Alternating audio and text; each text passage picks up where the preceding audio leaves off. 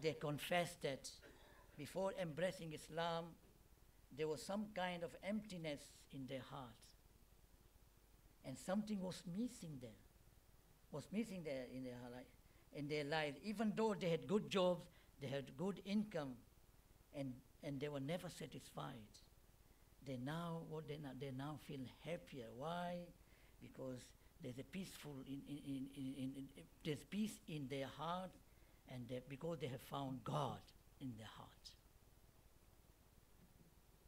God must never be absent in our hearts or in our minds and in our heart. We always need Allah's help and guidance. We must always confess our weakness and our absolute nothingness before Allah subhanahu wa ta'ala. It is senseless to entertain the idea that we are perfect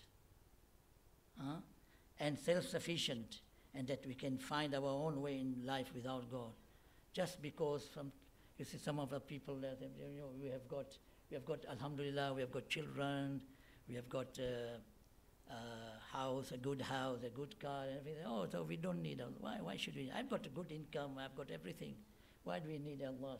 But that is wrong. There's an ayat here in the Quran which I'm going to recite. And if you, re- if you listen, uh, if you look at the Surah Al-Qasas, chapter 28, ayat number 78, Allah subhanahu wa ta'ala remarks about this false perception that some people have when they say, Innama utituhu ala ilmin indi. Allah says that this has been given to me only because of the knowledge that I, I have. Some people they think, oh, I've got my knowledge. I've been given that knowledge. This is only because of my knowledge that I don't need Allah anymore now. and Surah Al-Fatir, chapter 35, ayat number 15, Allah reminds us that we will always stand in need of Him. It means in need of Allah subhanahu wa ta'ala. And He says, and now is Allah subhanahu wa ta'ala is addressing to, to the human human beings, humankind, not to the to mu'min or Muslimin.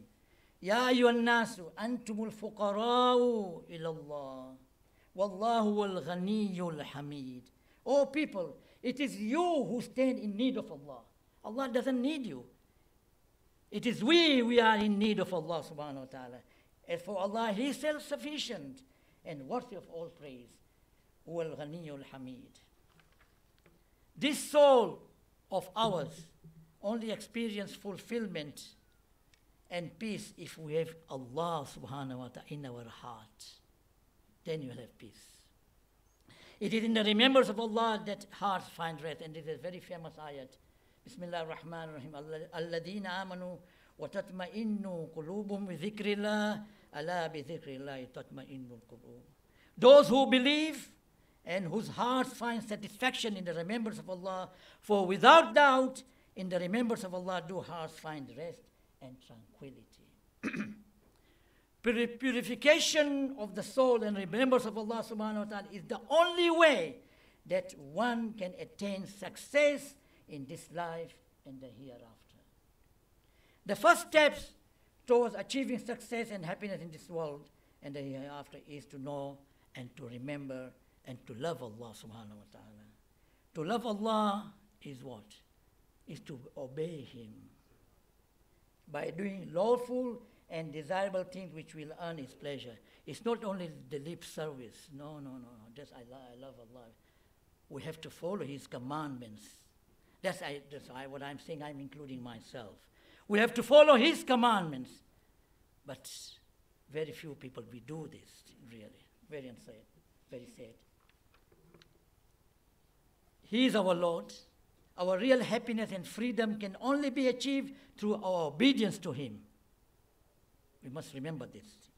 We must always remember one thing that whenever, wherever we are, God is always there with us. Now, let, let me recite this Surah Al Hadid, chapter 57, ayat number 4. Allah subhanahu wa ta'ala says, وَهُوَ مَعَكُمْ أَيْنَمَا كُنْتُمْ وَاللَّهُ بِمَا تَعْمَلُونَ بَصِيرٌ and He, that is Allah subhanahu is with you, is with us, wherever you may be, and Allah sees what you do. We are forgetting this.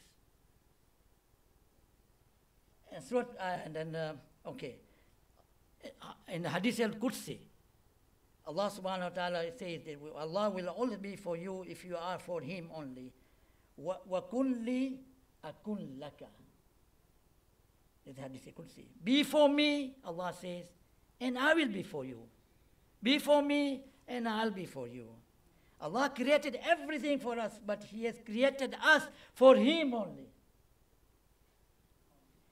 In Munajat Shabaniya, which is a beautiful munajat by our first Imam, Imam Ali ibn Abi Talib, salawatullahi wa salamu alayhi,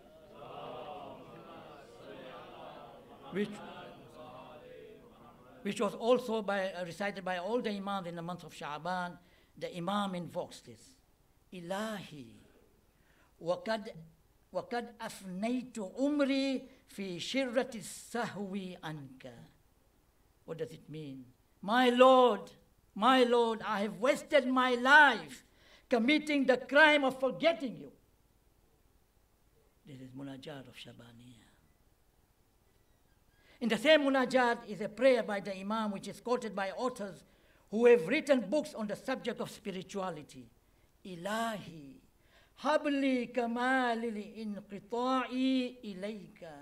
My Lord, grace me with the highest stage of detachment with everything and total submission to you. Subhanallah. And then continuation says, وأنير أبصار قلوبنا بضياء نظرها إليك and enlighten me the eyes of our hearts with the light of its looking at you. The question is How do we cultivate relationship and love for Allah subhanahu wa ta'ala? The first step is what? The first step is to know Him. Very important. To know Him and to know Allah, you need to study and follow the injunctions of the Quran and the teachings of Ahl al-Bayt Those who can show you the way to God are the Ahl al-Bayt That's why uh, the Holy Prophet, what he said when he left this world. He said, I, live I leave behind two weighty things, right? The Quran and my project, my Ahlul Bayt. If you go together, you'll never go astray. Our sixth Imam, Imam Jafar Sadiq salawatullahi wa salamu alayhi.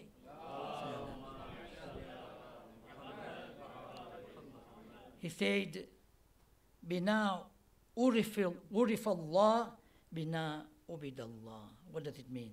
It is through us that is Ahlul Bayt. It is through us that God is known. And it is through us that God is worshipped. Subhanallah. Once you know God, then you will develop intense feeling of love for Allah subhanahu wa ta'ala. Without the devotion and love of God in your heart, you cannot experience real, real happiness. There was once Nabi Isa salam was walking in Palestine with disciples. And he passed by a blind man sitting there who was paralyzed and he could hardly move. He introduced himself, the, the uh, Prophet, and said to him, كيف أصبحت يا Abdullah? He was addressing to the man, you know. Oh, the servant of Allah, how do you feel?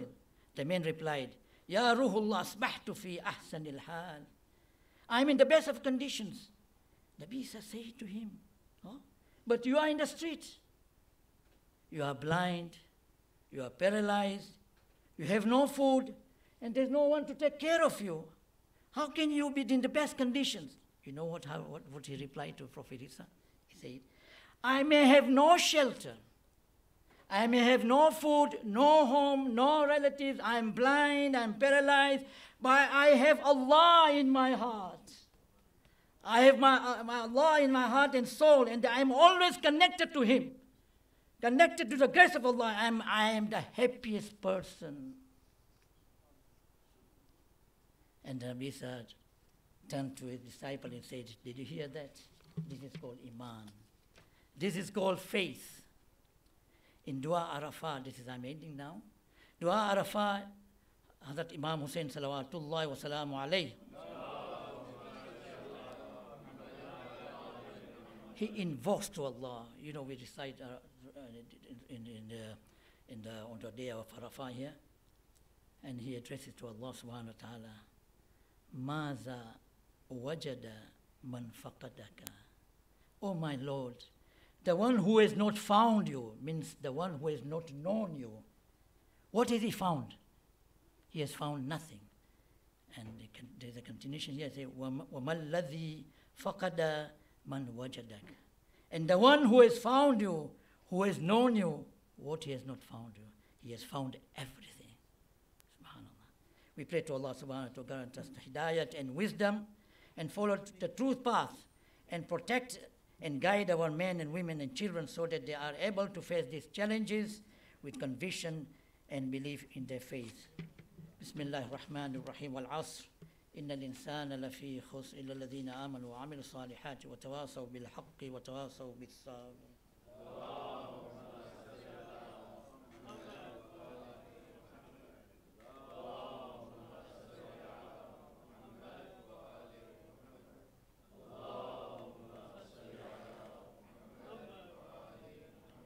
بسم الله الرحمن الرحيم.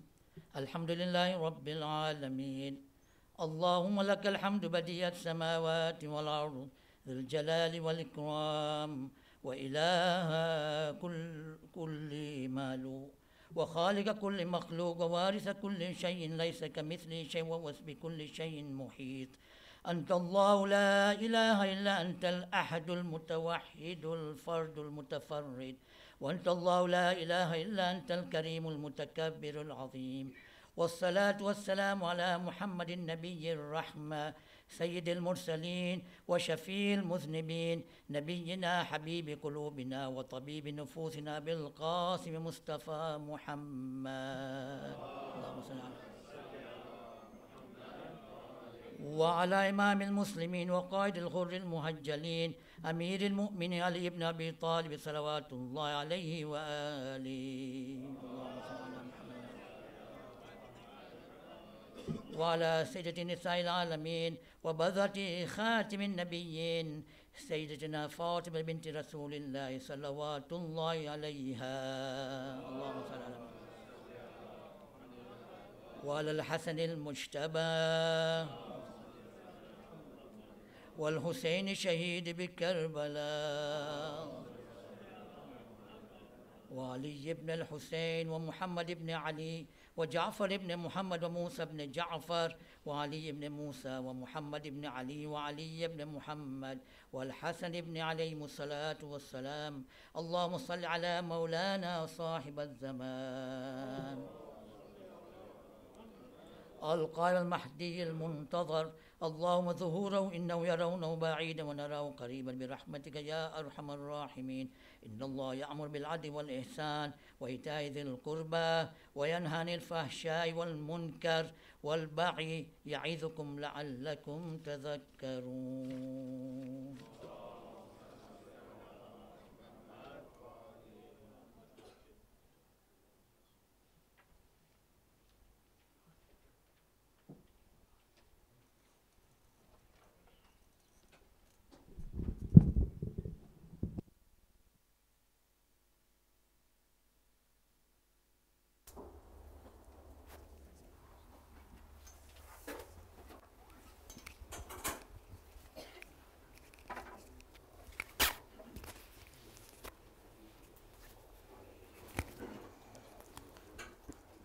أعوذ بالله من الشيطان الرجيم. بسم الله الرحمن الرحيم. الله أكبر الله أكبر. أشهد أن لا إله إلا الله. أشهد أن لا إله إلا الله. أشهد أن محمدا رسول الله. أشهد أن محمدا رسول الله.